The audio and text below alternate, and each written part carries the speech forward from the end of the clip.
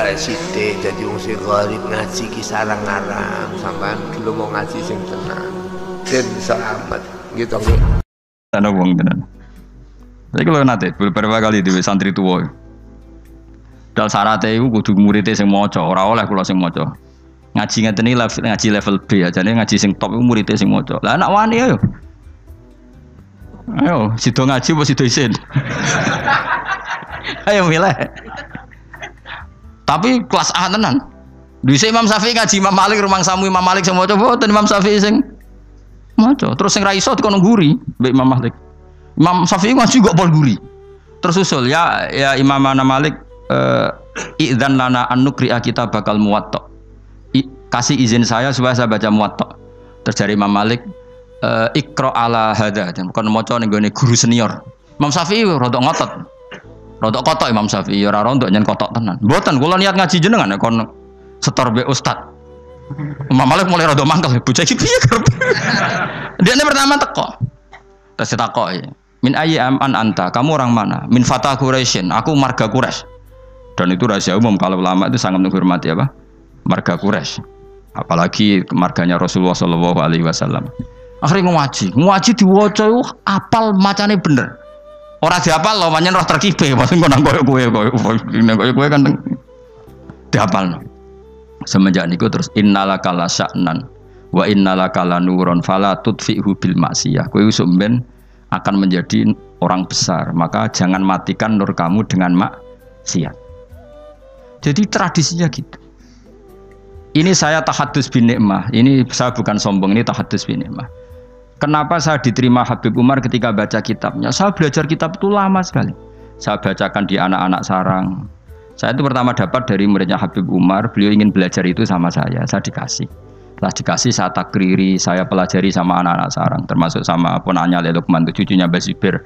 Banyak sekali anak sarang belajar kitab itu dari saya. Kalau ada yang ke Yaman, tak titipin supaya membelikan kitab itu.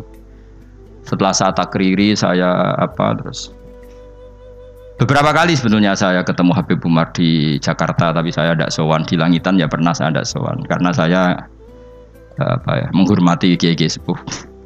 Tapi pas di Semarang, adalah saya itu diminta sama panitia supaya ketemu. Kebetulan ketua Badan Wakaf Unisula itu banyak yang kenal saya. Hanya kitab itu tak bawa. Jadi Habib Umar utama itu baca takriran saya. Saya itu baca punya takrirannya banyak. Maksudnya tulisan tangan saya itu dibaca beliau banyak. Makanya beliau tahu kalau kitab itu saya pelajari. Terus bentuk penghormatan beliau kerso nulis di kitab saya. Orang kok gaya-gayaan baca kitab. Nah, ngono akeh tunggal itu kuning toko terus itu pasti gak mau. Saya dulu minta ijazah bangun alulama al mujaddidun saya pelajari saya khatam. Saya ajarkan di santri saya ya khatam. Beberapa kali saya punya takrirannya. Baru saya minta ngaji sama Mbah Mun terus disuruh baca terus ya sudah terus dikasih ijazah. Nah, itu ijazah level A. Gitu. Nah, kena gelem ya monggo betul masalah. Nara gelem ya segini ki. Teko ngaji bar mulai nyate klatak, alhamdulillah bar ngaji. Sekono pokoknya lapor bojo, wah bar ngaji, ngaji dong, pos pokoknya ngaji nih gue enak. Lah yang nerang nopo, gak perlu, gak perlu iki lo rekaman nih. Aduh, murid tak dong ini, Agar kon nerang wong liya seribet ya tak kei file. Takok barang. Ayo kelakuan ngono to, aja. Enggak kelakuan ngono to. Milih nerangno apa milih ngekei file?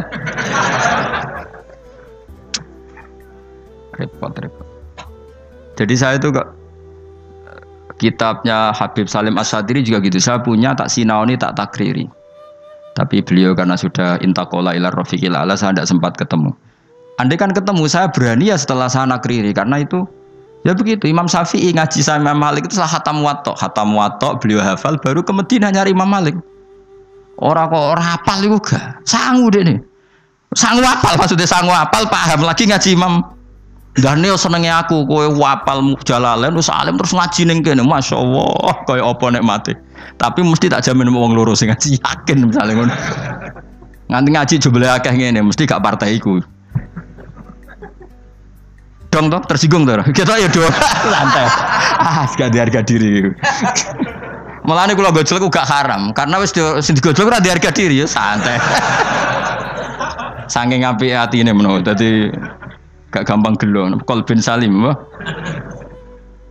Jadi di jenenge ngaji ku ya ngono iku kabeh. Dadi Imam Sa Imam Ghazali ya gitu, sinau kitab Imam Haromen, alim apal baru ketemu. Jadi ketemu ya cepet. Ya cepet banget. Dan akhirnya gurunya langsung ngeke ilmu sing kelas A karena wis ketok murid iki paham. Makanya Habib Umar bilang ke saya,